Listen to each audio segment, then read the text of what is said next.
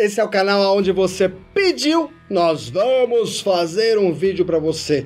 Demora um pouquinho, mas o vídeo sai. Independente de qual carro que seja, seja ele mais novinho, seja ele mais velhinho, a gente não se importa aqui. A ideia é passar a informação para você, seja ela lá muito comercial ou não. O importante é que você saia com uma resposta compro ou não compro o carro que eu procuro. Esse é um canal que te ajuda a comprar carro com razão, sem nenhuma emoção. E o pedido de vídeo de hoje foi de um Nissan Máxima 3.0. Uma nave, hein? 2000 a 2003 é o que nós vamos falar aqui hoje.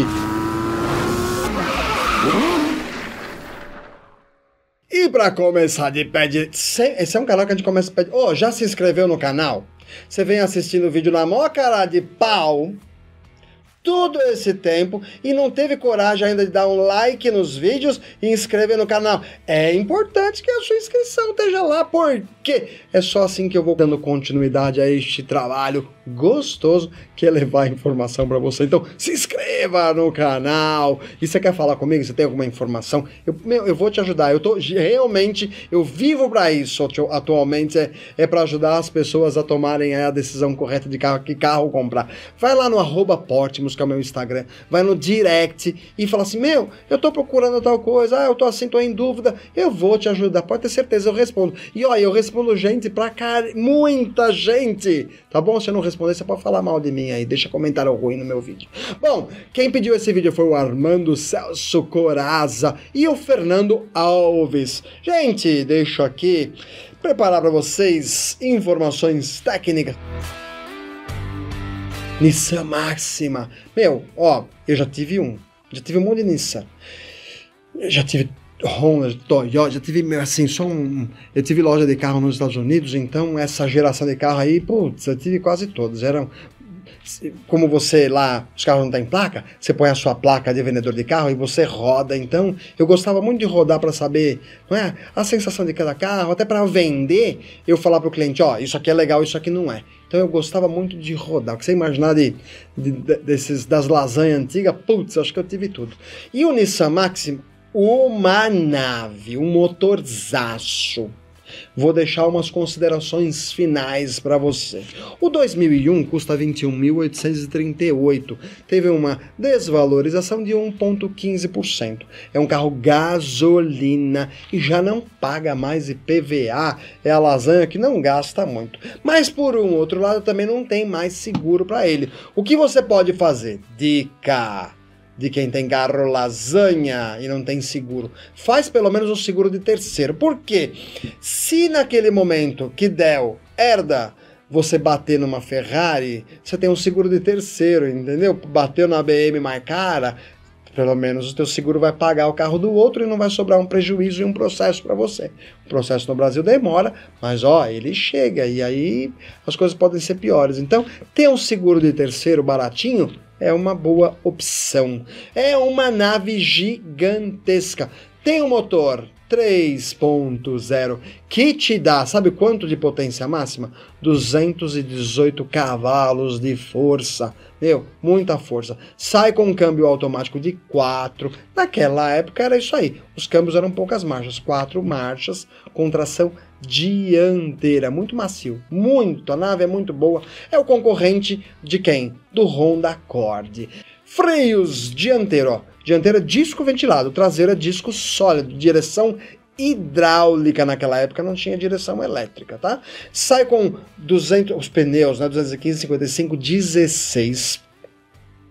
Esse carro pesa, ó, vou falar algumas coisas aí, ó. Pesado, pesa nada mais nada menos do que 1.440 quilos, afinal é um sedãzão gigante. Tem um porta-malas grande pra caramba, 520 litros.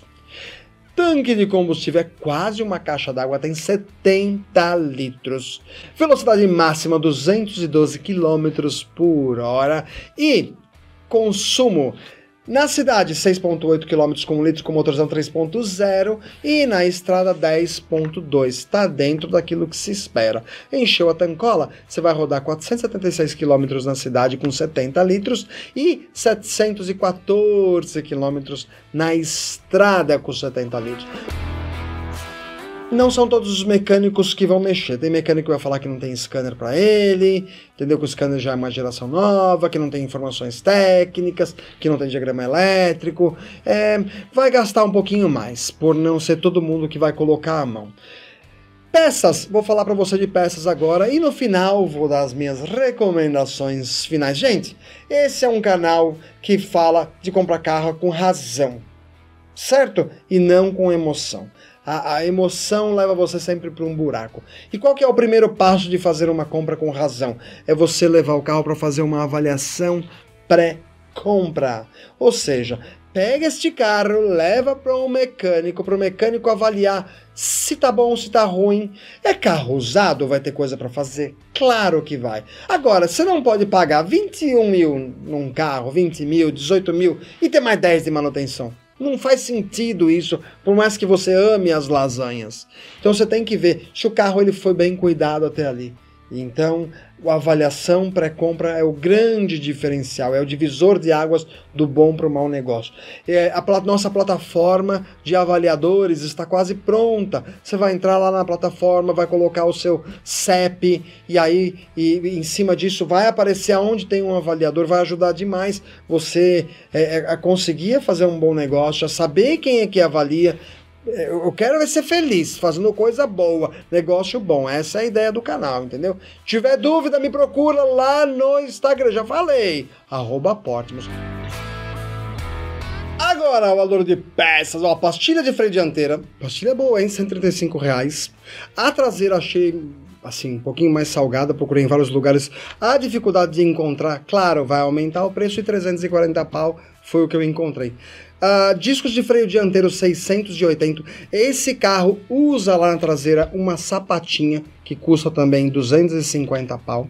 Discos de freio traseiro 680, o dianteiro 680, mesmo preço. Filtro de ar 78, combustível 40, cabine 38 e o filtro de óleo 35. Rolamento de roda dianteiro 340 pau cada um, o traseiro 143. Jogo de velas 330. Os amortecedores, os quatro amortecedores, R$ 2.230. Bico injetor, 170 pila cada um.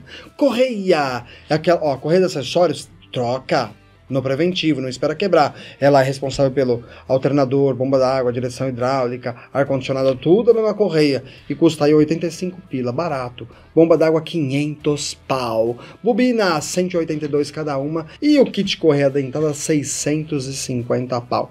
Ó, válvula termostática. Essa também comprou o carro, troque, porque normalmente não tem recorde de troca desse carro valor 299 pau. Gente, é o seguinte, ó, minhas considerações para você é o seguinte, antes de eu falar qual foi o total de manutenção e que classificação esse carro está no ranking.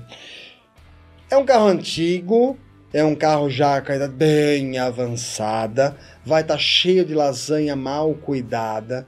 Então, muito cuidado para comprar.